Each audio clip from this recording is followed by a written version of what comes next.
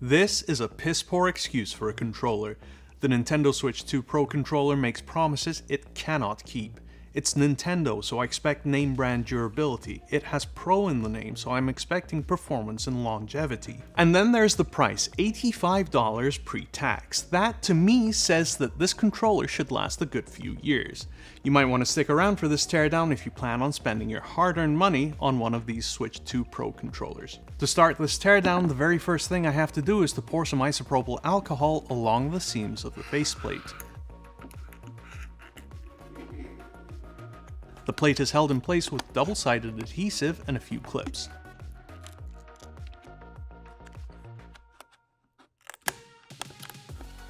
This isn't a great start. Not only did Nintendo hide the screws under the faceplate, but reassembling the controller means having to source and replace all of the adhesive.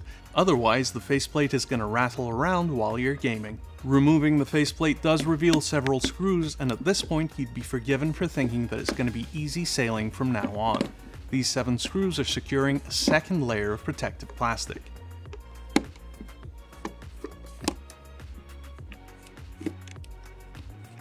The larger inner plastic shell can't be removed until these two wedged sections on each side are coerced out of their hidey holes. It's not the worst thing to deal with, but it seems so unnecessarily fiddly. Why not just rely on the screws to secure the shell? We're finally inside the controller now, and unlike other controllers I've seen, the thumb grips on the Switch 2 Pro controller need an uncomfortable amount of force to remove. Once those are out, I'm gonna go around with a fixed blade driver and remove the topmost recessed screws. I'm trying to get to the battery and I can't do that without removing the mainboard first. Maybe Nintendo is hoping you'll give up here and just buy a new controller.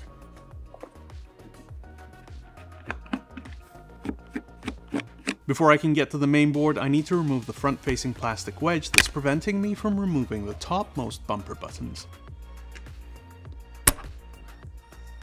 Once the two bumper buttons are out, I can remove the remaining recessed screws with my fixed blade driver. Then I can go ahead and disconnect the JST style connectors from the rumble packs which are slotted inside each of the controller handles. It's only at this point that I'm realizing there's another two screws hidden at an angle above the triggers. They're black and perfectly camouflaged against the controller body. Finally, after all this disassembly, I can remove the body of the controller. On the reverse side I can see the battery which, contrary to everything else so far, is very easy to disconnect and remove. The 4.15 watt hour lithium polymer battery is a consumable component. Like all electronics containing a battery, it's very important for manufacturers to design with user replaceable batteries in mind. This controller does not. This is not a reasonable amount of disassembly to get to a battery. So much for longevity. The arduous task of battery replacement isn't the only problem with these controllers. I need to get to the joysticks because, just like we found in the main Switch 2 Joy-Cons, the Switch 2 Pro controllers are still using drift-prone potentiometers.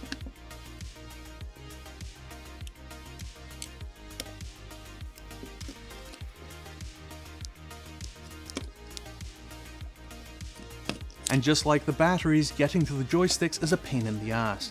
Digging even deeper into the device reveals a silver lining. These low profile sticks are screwed in, making them far easier to remove and replace than their larger soldered cousins in the first generation Switch Pro controller. But that sliver of good news is all I have for you because the downside of these low profile sticks is that it seems they have a higher propensity to fail sooner more often than the larger pots we've seen in standard controllers.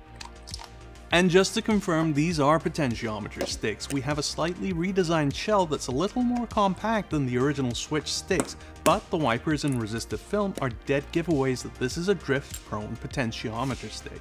Just as I said when we took apart the new Joy-Cons, maybe there's a more durable material in the tracks or something else we can't see, but again we haven't yet met a potentiometer based stick that's drift resistant. A side-by-side -side comparison of the Switch 2 Pro controller pot and the Switch 2 Joy-Con pot shows a very similar profile even if the resistive film is thinner and longer on the Switch 2 Pro controller Flex PCB.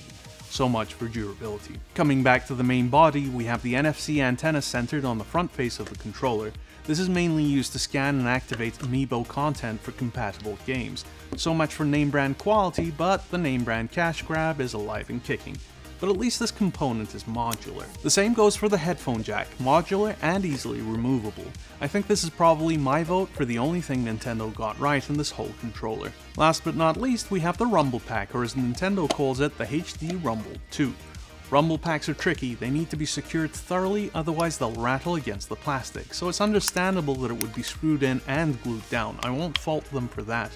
What I will fault them for is how it's unnecessarily buried inside the grip. It's a fairly straightforward component that works by reversing polarity on a pair of electromagnets sitting opposite a set of permanent magnets. That pushes the mechanism back and forth at very high speeds, creating that rumble effect. And that's the Switch 2 Pro controller. You get a brand new C button, the HD Rumble 2, and a nightmare of a repair if you plan on keeping this controller for the long haul. The battery is absurdly difficult to replace, requiring a full disassembly to even be able to see the battery cell. Nintendo's also shrugged off multiple class action lawsuits and doubled down on the drifty potentiometer sticks that it's been incorporating into the first generation and now the second generation of Switch 2 devices, all while TMR and Hall effect sticks are being incorporated in other controllers in the exact same price bracket. And while the sticks are no longer soldered in place, they do adopt the low profile design that correlates with much higher failure rates than potentiometer sticks. At half this price you could get a GUI Kit ELS 2 with Hall effect sticks, not to mention other brands offering Hall Effect and TMR sticks like 8BitDo, Hyper, PB Tails, and many more. With the Nintendo Switch 2 Pro controller, I see a cash grab riding high on the Nintendo brand. Many of these controllers are going to end up as e-waste, but it doesn't have to be this way. Nintendo, give us a call.